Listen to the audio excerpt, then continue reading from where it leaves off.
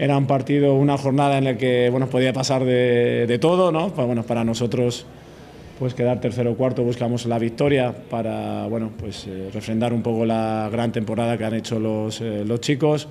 Eh, esta victoria fuera de casa en, contra este rival que, bueno, que, tiene buenos jugadores, pero que bueno, pues el sufrimiento ¿no? de poder verse en descenso, aunque era muy difícil, había que darse muchas carambolas, aún, aún perdiendo, ¿no?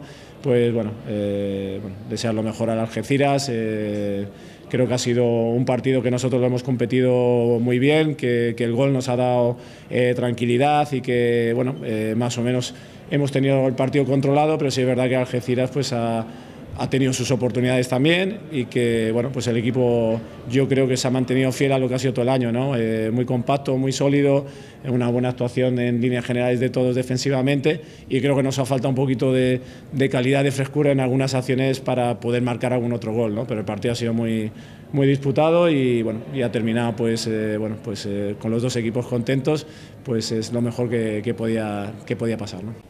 Bueno, la valoración es que nuestro objetivo de hoy era conseguir la salvación y la hemos conseguido. Dentro de tres semanas, cuatro semanas, nadie se va a acordar si ganamos, si empatamos, si perdimos. Lo que se van a acordar es que vas a poder competir un año más en Primera Federación, que es una categoría igualadísima, solo por ver la clasificación nos damos cuenta de la, igualdad que hay y que hoy hemos hecho todo para ganar pero no hemos sido capaces a, materializar las ocasiones que tuvimos y ellos en la primera que llegaron nos hicieron, nos hicieron gol.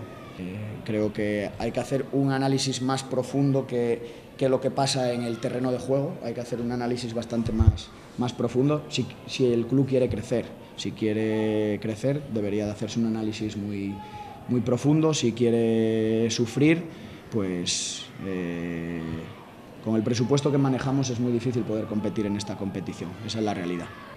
Creo que mucha parte del público no quiere que continúe, entiendo que gente del club tampoco, pues es tan fácil como, como hablar, decírmelo y, y ya está. Pero claro, alguien me lo tendrá que decir.